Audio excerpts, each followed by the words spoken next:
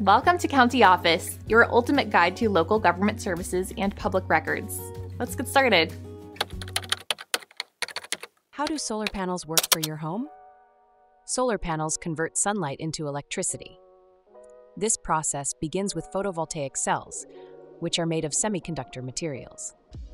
When sunlight hits these cells, it excites electrons. These excited electrons create an electric current. This current is captured and can be used to power your home. Solar panels are typically installed on rooftops to maximize exposure to sunlight. The electricity generated can either be used immediately or stored in batteries for later use. If your home produces more electricity than it consumes, you may be able to sell the excess back to the grid. Inverters play a crucial role in this system.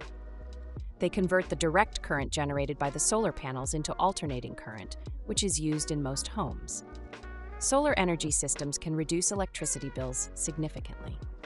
They also contribute to a reduction in carbon emissions, promoting environmental sustainability.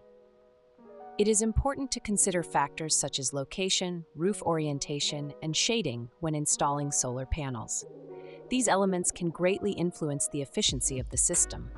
Consulting with a professional installer can help determine the best setup for your home.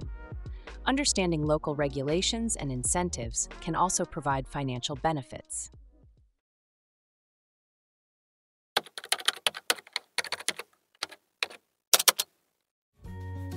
To learn more, check out these links, which you can click in the description below.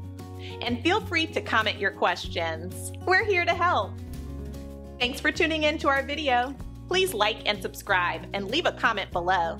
See you in the next video.